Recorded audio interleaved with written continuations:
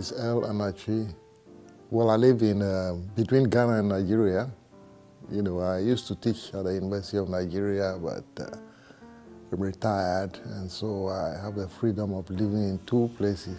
In fact, three places if I want. And well, I uh, to why I donated work and uh, why I want the legacy is well, I'm old. I'm nearing my end of end of life, and at this time, one thinks about what one leaves behind. How have you helped society? Because uh, you have lived in society all along, and society certainly has been one of the greatest uh, helps to you. You know, imagine a world in which you were just alone and, uh, you know, there's nobody else. The much that we get from society uh, makes me think that at the end of, or before one leaves society, one has to leave something that helps the society to grow.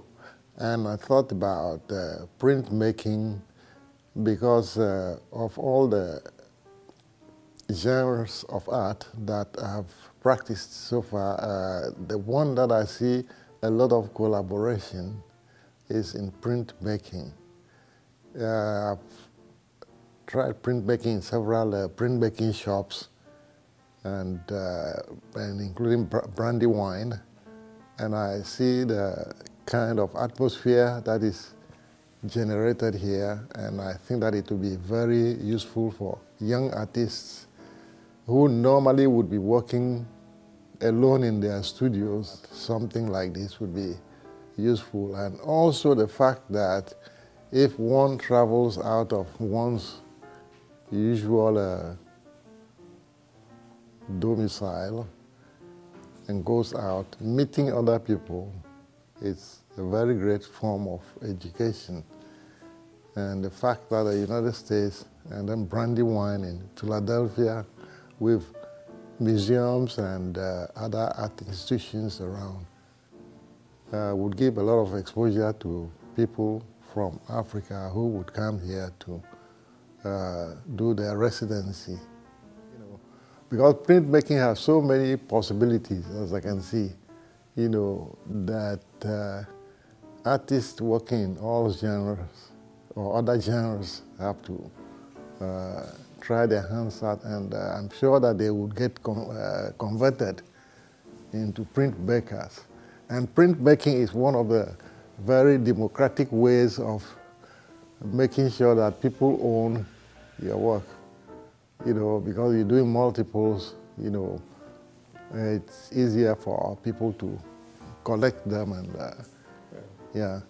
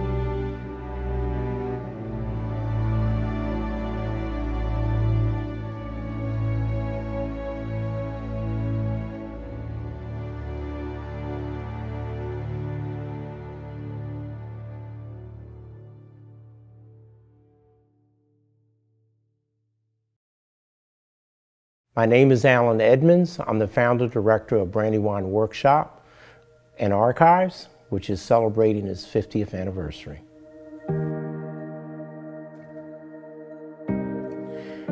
When we started, we had a group of really dedicated individuals who were secure their own position within their profession, whether they were teachers, professors, or they were studio artists being able to support themselves through the work that they created in the studio.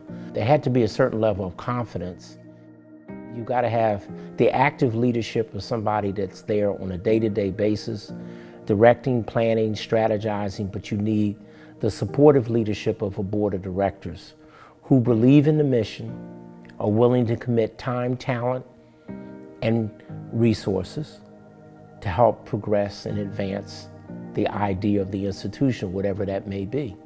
It's been most beneficial for Brandywine to have early on started out receiving support and engaging with well-established artists who felt that they could see in Brandywine a vehicle to address some of their concerns, such as shrinking this gap between institutional support and real support for artists who may be considered disadvantaged because of their location, uh, their social financial situation, age, or by ethnicity, which has always been a tremendous barrier for artists of any age.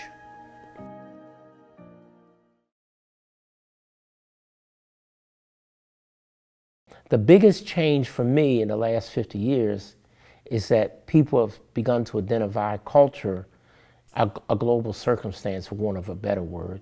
And I've seen a greater recognition of the fact that there's no such thing as Western art without Eastern art. There's no such thing as American art without Western art. And because of immigration, we've seen Latin America, the, the axis has moved more from east to west or west to east and more north to south as the influence of the Caribbean and Latin American countries has become stronger within its influence in American culture.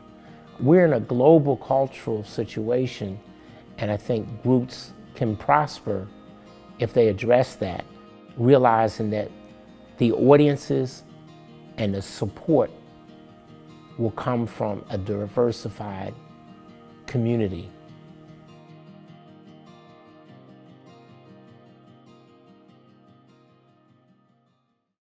The COVID-19 pandemic was a disaster for most nonprofits and, of course, the cultural community. However, for Brandywine, because we've always tried to think strategically and beyond our immediate community and resources and everything, we were well prepared. We didn't know what we were preparing for. We thought we were preparing just to progress with technology. As things changed in technology and how that impacted the, the creativity and the making of art, how it impacted the management, the collections management, and the experience that, that art and culture was given to its audiences, and, it's, and of course its reach. Um, but for Brandywine, it meant that we were well positioned to work remote.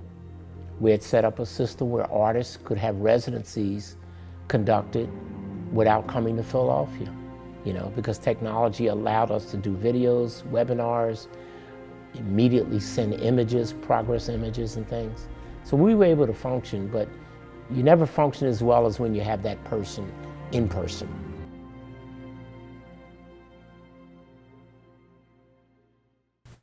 I would hope that based upon our longevity, we've touched the lives and careers of many artists, art collectors, art educators, and students interested in the field of the fine visual arts. I think it's important that one generation leaves, if not a legacy, leaves something material behind or inspirational that can help advance the next generation. In the field which I chose, there was very little institutional support for particularly artists of color, and I wanted to change that by providing an institution that could support young emerging artists of color of all nationalities, ethnic groups, and also of all ages.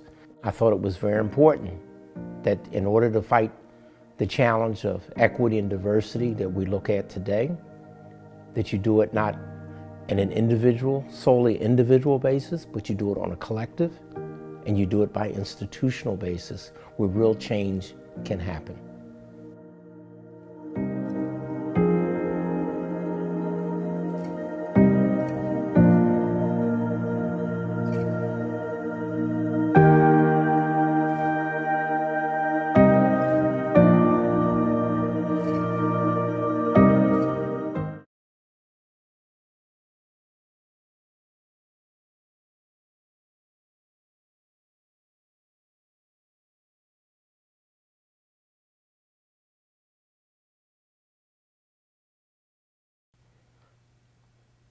What do I think about when I think about retirement?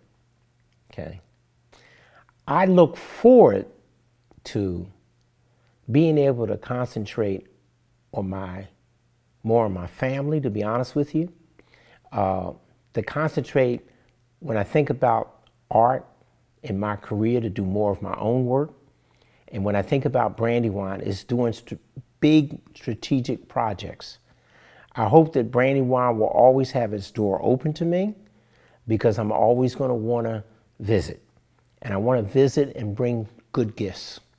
I'd like to develop an endowment, whether my wife and I, you know, do one separately, but I know that I'm very committed to building an endowment that will help Brandywine be financially sustainable going forward. But I'm confident and enthusiastic about engaging in that effort and then if, if I can be of assistance to Brandywine or any other group in an advisory capacity, I anticipate perhaps joining some other boards. People, many people over my whole career have mentored me, and I feel obligated to, to give back and to mentor when I can, when I can. I, you know, I've, I've been blessed with a lot of longevity, a lot of exposure and experience. I've also taught for 25 years, and uh, I love giving back. You know, I love sharing because so many people don't have access to people that have any information for them. They can share, pers give perspective, you know. My exposure and experiences in the arts is global. For the continents that I've visited, the countries I've visited, the artists that I've gotten to know, it's, it's, it's broad. 50 years is a lot of experience if it grows and evolves.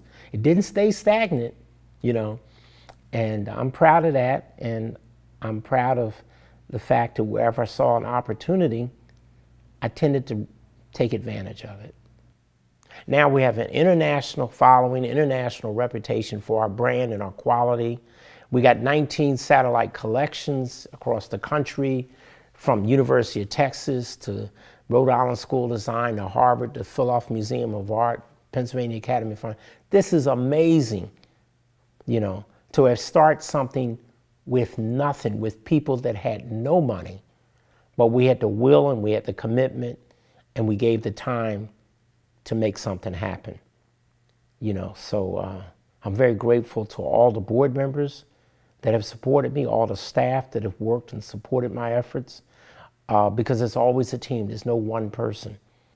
In closing, I would say that if you ask me what the next 50 years of Brandywine might look like, I haven't a clue.